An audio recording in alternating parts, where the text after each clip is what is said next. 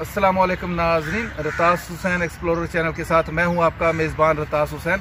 और आज मैं जिस तारीखी मकाम पे आपको लेके आया हूँ ये जगह मुंद्रा और गुजर खान के दरमियान एक जगह बाउली होटल आता है बाउली होटल से ये रास्ता रास्ता क्या ये गाँव कौन सा घुंगरीला हाँ। घुंगरीला गाँव की तरफ़ जो एक रास्ता जाता है उसमें थोड़ा सा आप आगे आएँगे तो वहाँ पे ये अंग्रेज़ दौर का एक कदीम रेलवे का जो पुल है, ब्रिज बनाया गया है, जिसके नीचे से ट्रेन गुजरा करती थी पहले भी और आज भी, और ऊपर जो था ट्रैफ़िक के लिए एक रोड बनाया गया था, ये ताहाल मौजूद है।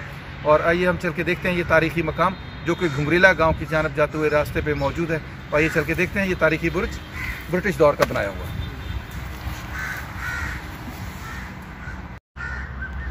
बोहड़ का एक कदीम दरख्त, जो कि अंग्रेज़ दौर में भी यहीं पे मौजूद था।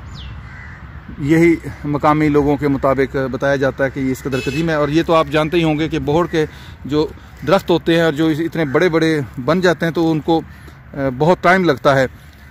और ये बहुत कदीमी दरख्त होते हैं। ये वो रास्ता है जो नीचे की जानब उतरता है। यहाँ से ये ब्रिटिश दौर का, ये देख लें नाजरीन किस कदर मज़बूत और प्यारा बुर्ज जो था, बनाया गया,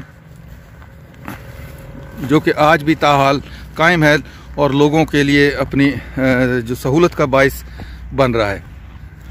नीचे से इसके ट्रेन का ट्रैक है, जबकि ऊपर से ट्रेन का, जबकि ऊपर जो है, वो रोड है, जैसे कि मैं बता चुका हूँ। हम इसके करीब जाएँगे और देखेंगे कि ये किस तरह ये तामीर किया गया, क्या इसमें मटेरियल इस्तेमाल किया गया। ये आप नीचे चल के हम इसको मुलायजा करते हैं। यहाँ से देखिए किस कदर एक खूबसूरत व्यू है इसका।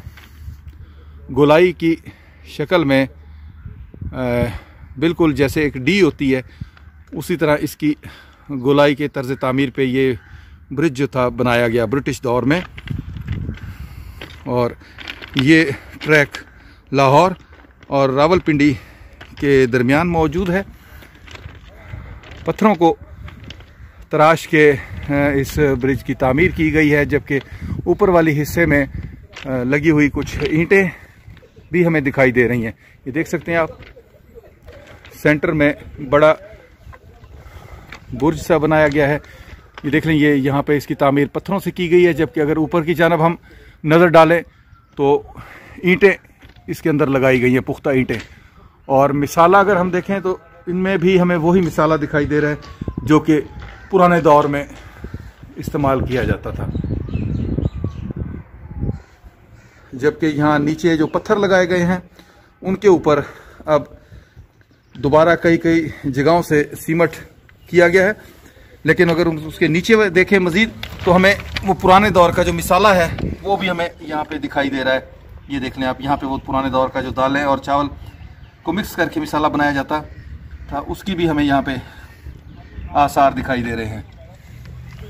जबकि ऊपर यहाँ पे देख लें कि सीमट लगाया गया है। ये वो ट्रैक है जो कि जा रहा है रावलपिंडी की तरफ़। नाजरीन, आज मैंने आपको ये एक तारीख़ी पुल जो कि ब्रिटिश दौर का बनाया गया था, जो कि आज भी अपनी असली हालत में मौजूद है, उसका विज़िट करवाया। इसके साथ ही मैं आप लोगों से इजाज़त चाहूँगा। फिर इन किसी और तारीख़ी मकाम पर आप लोगों से मुलाकात होगी। तब तक के लिए इजाज़त। अल्लाह हाफिज़। खुदा पामान